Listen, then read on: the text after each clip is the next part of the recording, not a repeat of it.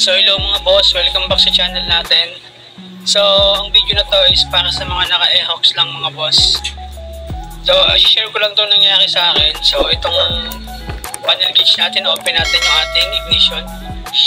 Yan, kung napansin nyo, pag on natin mga boss, hindi lumalabas yung kanyang panel gauge, walang ilaw.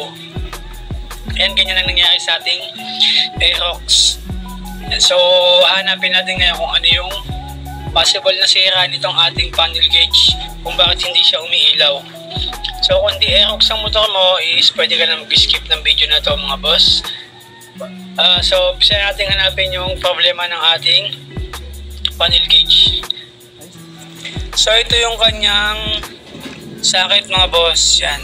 Ito yung sakit ng gauge natin. Yan. So gagawin natin dito is tatanggalin muna natin tong sakit natin.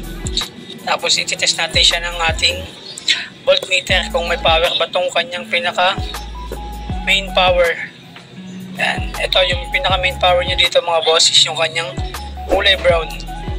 Yung kulay brown na wire dito yan yung kanyang pinaka main power. So dapat pag on natin ang ating ignition is may power na tong ating kulay brown na to.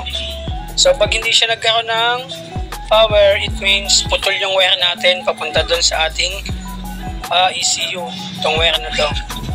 Yan so simulan na natin i-test mga boss. Kunin na natin yung ating voltmeter. So let's go. Ayan so ito na yung ating voltmeter mga boss. Uh, pagpasensya nyo yung voltmeter natin masyado nang madaming pinagdaanan to. Ayan so ang gagawin natin is yung ating positive side. Yun ang isasaksak natin dun sa ating kulay brown na wire dun sa pinaka main power niya. Dito natin siya isasaksak. And then itong ating negative is dun sa kanyang body. O kaya pwede niya siyang isaksak. Kahit sa ang negative parts ng ating mga motor. Ayan. so pag naayos nyo na yung ganyang setup mga boss pag nasaksak nyo na yung ating uh, negative at saka positive dun sa kanyang brown wire check nyo yung voltmeter natin kung may ilaw o may power. Pag sinaksak nyo siya dito. Once na nagkaroon siya ng power mga boss, ibig sabihin okay yung ating uh, main power nitong ating uh, panel gauge. So kung wala naman power mga boss, ibig sabihin putol yung connection natin doon papunta sa kanyang ECU. Ayan, so ang gagawin natin dito ngayon mga boss, katulad nito nangyari sa atin, putol yung kanyang connection papunta doon sa ating ECU. So hindi ko na hanapin yung putol niya. Ang gagawin ko na lang is magtatap tayo ng wire. Yan, papunta dito sa ating kulay brown. Tatap natin itong isang wire.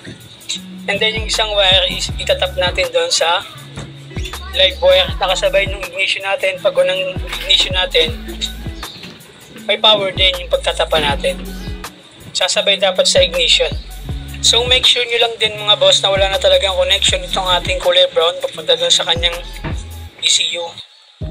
Ayan, so pagkatapos nating matap dito mga boss, ito na yung ating tap mula dun sa ating kulay brown.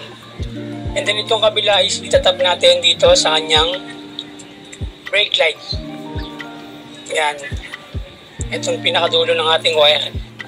Ayan, so pinaka-the na pagtatapan natin dito mga boss is yung kanyang uh, brake light.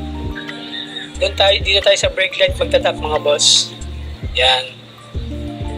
Sa pagkatap natin dito, is check natin kung okay na yung ating panel gauge.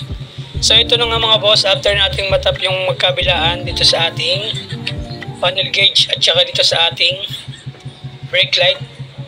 So the moment of truth mga boss, ito na yon yan, so check natin kung okay na ba yung ating panel gauge. So on natin siya. Ayan, nagkaroon na ng ilaw yung ating panel gauge mga boss.